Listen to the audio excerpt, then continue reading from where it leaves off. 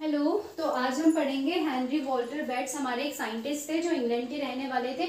इन्होंने हमारा जो पत्ता गोभी की सब्ज़ी होती है, उसको बहुत डीपली स्टडी किया और पता लगाया कि क्यों हमारे जो लिविंग हमारे जो लिविंग थिंग होते हैं, यानी कि इंसेक्ट्स बेसिकली वो आपके अपने शेप और अपनी कलर को कैसे चेंज और क्यों चेंज करते हैं। बेसिकली जब उन्होंने पत्ता गोभी की स्टडी करी तो उसमें हम देखते ना, बोलते कीड़े होते हैं, नहीं खाने चाहिए। हम सोचते हैं वो हमें हार्म करते हैं, वो हमें हार्म करने के लिए नहीं उसमें रहते हैं। वो अपने आप को प्रोटेक्ट करते हैं, वो खुद ही हमसे डरते हैं या बाकी के जो इंसेक्ट्स होते हैं, जो उन्हें खाने वाले होते हैं, उनसे बचने के लिए वो उसमें छुपे हुए होते हैं और अपने आप, अपना कलर को बिल्कुल वैसा ही कलर बना देते हैं जो पत्ता गोभी का होता है। ठीक है, वैसे ही कलर बना देते हैं और अपने आप को प्रोटेक्ट करते हैं और उसी से अपना फ़ूड लेते रहते हैं। ठीक है, वो हमारे हार्म के लिए नहीं होते हैं अडेप्टेशन के लिए वो वहाँ पे रहते हैं। ठीक है बाय